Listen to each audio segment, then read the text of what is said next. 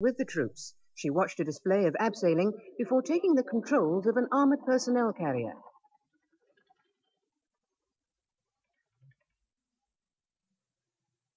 She manoeuvred it cautiously across the parade ground under instruction from a watchful sergeant.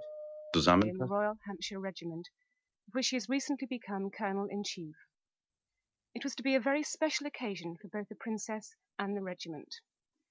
Mike Allen joined the international press party as the historic royal visit began. The Princess of Wales flew into RAF Gatow Friday lunchtime on board an Andover of the Queen's flight to be greeted by a warm crowd but a distinctly grey, cold, and overcast Berlin. However, if the day was dull, the Princess's outfit was anything but. Another one to make the fashion world sit up and take note. A wool suit of shocking pink and black with the customary hat to match. Ignoring the chill in the air and declining an umbrella, she was introduced to some of the city's military and civilian dignitaries by the GOC of Berlin, Major General Gordon Lennox. Then just time to snatch a brief word with the crowd on the tarmac before being whisked away in a Daimler to begin a very busy 24 hours in the city. Her schedule began at the famous Charlottenburg Palace, a meeting with the mayor, a welcoming speech, and then the signing of the city's Golden Book, a large autograph come visitors book containing a host of world famous names, and signed by the princess with a bold, flourishing Diana. Outside, a chanting crowd, many of whom had travelled from West Germany and had waited several hours to see her, were rewarded with a short walkabout in front of the palace as the princess collected the first of many posies that day. The main purpose of the princess's visit, though, was to meet the men and the families of the 1st Battalion, the Royal Hampshire Regiment, a regiment which boasts 10 VCs and battle honours going back some 280 years, but until a couple of months ago without a colonel in chief. So, how was the princess chosen for the post? Well, there are quite a few regiments in the army that haven't got colonels in chief. We were one of them. And uh, most regiments uh, put in really what amounts to a bid for a colonel in chief and wait to see what happens. And uh, in the course of time, we hope that the Queen will either take it on herself or nominate someone else to do it for her. And in our case, we came up trumps with Princess of Wales. And what does it actually mean to be a colonel in chief of a regiment? Well, it's an it's an honorary and ceremonial function, really. Um, we hope that Her Royal Highness will visit us often when she has time, uh, and we would hope uh, perhaps once a year we will see her. But this visit was very much a new experience for the 24 year old princess. One of her first engagements abroad without Prince Charles by her side, and her first real encounter with the complexities of military life. But still, when she arrived to inspect the battalion at the parade square at Wavell Barracks, she looked relaxed and cheerful, still refusing a coat despite the distinct threat of rain. The parade was her first chance to meet some of the men, and she made the most of the opportunity by chatting at length to many of the soldiers. The afternoon's formal proceedings were then rounded off by the traditional feu de joie, the joyful volley. And then three rousing cheers for their new Colonel in Chief.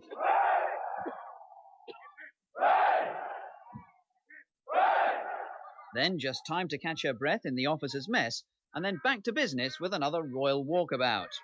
Although security around the barracks was very tight, inside things were much more easygoing and low key, with the scheduled 15 minute walkabout turning into nearer 30, as the princess stopped all the way along the route, chatting to soldiers' wives and, of course, the children. Meanwhile, her lady in waiting was collecting enough posies to open a small florist's.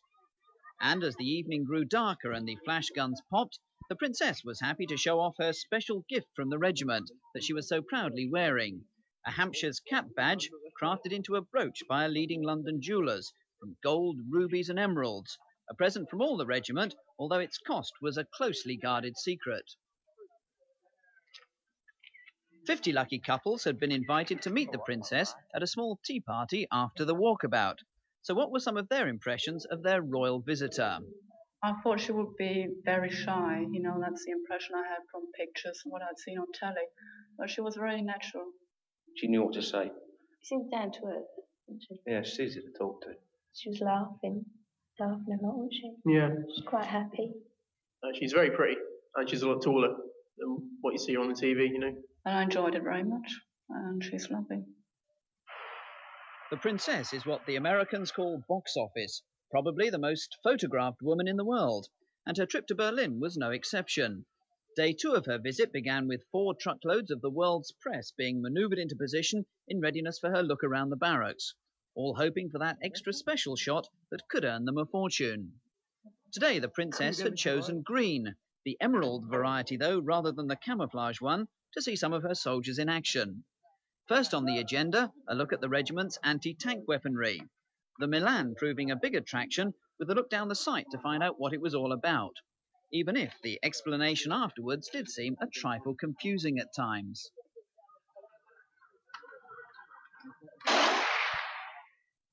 Then it was on to a demonstration of the men's fighting prowess, as the regiment, nicknamed the Tigers after their time in India in the 1800s, showed off their teeth in a mock battle.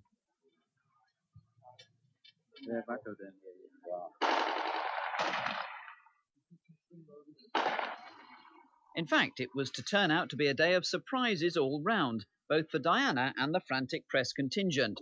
It was the princess who got the first one a red rose carried in the teeth of a soldier who just abseiled from a helicopter in front of her, a gift received with shy but obvious delight. And if that didn't prove that romance is alive and well in the British Army, another gift. This time, all because the lady loves a box of chocolates hidden under a combat jacket. Then it was the turn of the photographers to be surprised by the princess when she reappeared in yet another outfit, this time much more casual. For the first time in public, dressed in sneakers and a tracksuit. She'd asked the CO over dinner if she could have a go at driving an APC, and of course, Princess's wishes do come true.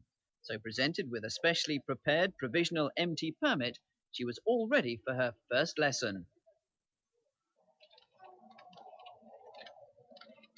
As she climbed aboard, the sound of delighted cameramen clicking to their heart's content echoed around the parade square. And Colour Sergeant Chaz Jones began the most important driving lesson of his life, with just 10 minutes to teach the princess what would normally be spread out over three weeks. A tentative lurch forward and she was off. Well, for a moment anyway. But very soon she was throwing the 15 tons around like an old hand at one stage heading for the press stand at a speed that had us all a wee bit worried. The idea was to maneuver the vehicle between four bollards, a tricky operation, but with a helping hand and a word of encouragement, she just about managed it.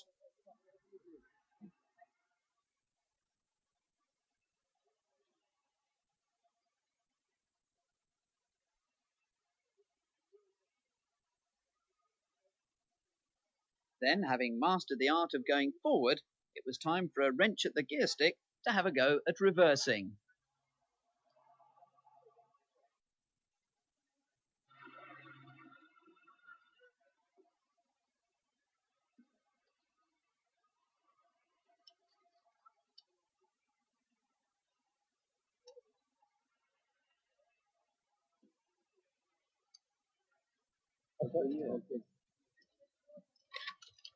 Mission accomplished with not a hair out of place, the princess emerged from the APC to a spontaneous round of applause from the ecstatic cameraman.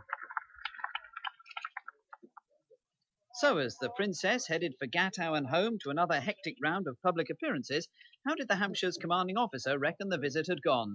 The visit's been a great success. It's been a, a memorable period for us so many reasons, but yes, it's been a tremendous success, and we've all thoroughly enjoyed it.